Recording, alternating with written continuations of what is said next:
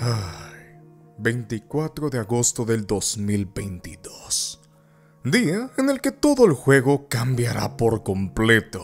Después del probable fracaso de los tres viajeros, y recalco probable porque si nos ponemos a rebuscar, estas cosas sirven pero de manera muy selecta. En esta misma fecha llegaría el elemento Dendro. Esto era algo incomprendible para nosotros. ¿Cómo puede ser posible que agua más planta nos iba a dar una semilla? Y luego aplicas fuego y explota, o aplicas electro y esta semilla rápidamente viajaba al enemigo infligiendo daño. O si atacabas a un enemigo con dendro y tenías un piro o electro, tendría diferentes reacciones. Dios, esto es una maravilla y muy bien pensada. Era una modalidad distinta de jugar. Después de dos años jugando a congelados y vaporizados y derretidos, por fin tendríamos algo nuevo. Pero lo que se nos hacía difícil de entender se fue tornando un monstruo fácil de comprender. Las reacciones dentro, o al menos la más popular, hiperfloración o hyperbloom, fue algo que llegó a revolucionar muchísimo la modalidad de juego, ya que este daño o reacción solamente se veía afectado por el nivel y la maestría del portador. Así que lo único que tenías que hacer es ponerle la mayor maestría posible a tu personaje y subirlo al nivel 90. Este daño era tan bueno que ignoraba la defensa del objetivo, pero no podemos realizar golpes críticos.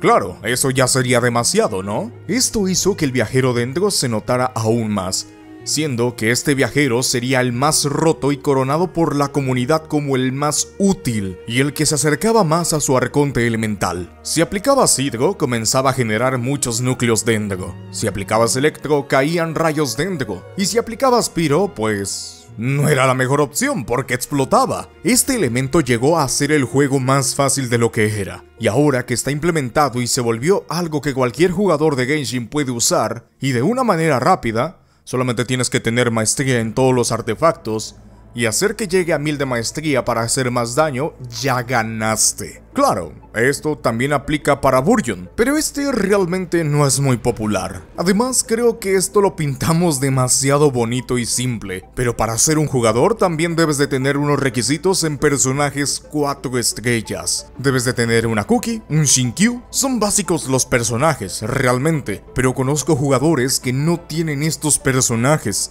así que probablemente tengan un grave problema por aquí. Realmente todo lo que pueda llegar a hacer daño en área electro puede llegar a activar estos Hyperbloom. Y claro, también cualquier cosa que aplique demasiado hidro puede generar estos núcleos dentro. Pero estos dos personajes en especial te los dije porque son cuatro estrellas y son muy fáciles de poder armar. Y aparte son muy buenos en lo que te acabo de comentar. Aún así, esto no deja de ser un monstruo, una reacción que ignora defensa, y es fácil para poder hacerla, y solamente necesitas subir de nivel tu personaje y ponerle artefactos de maestría por Dios, sin la necesidad de andar quebrándote la cabeza por probabilidad, maestría, ataque o vida para tu personaje. Siéndote sincero, analizando todas las reacciones del juego, las reacciones con Dendro son de las más fáciles que puedes llegar a entender, y también de las que podemos llegar a ocasionar daño. Bueno, también para todo hay jugadores, pero realmente me interesó hablar un poquito acerca del tremendo monstruo que Genshin Impact creó. Y esas son las reacciones dentro.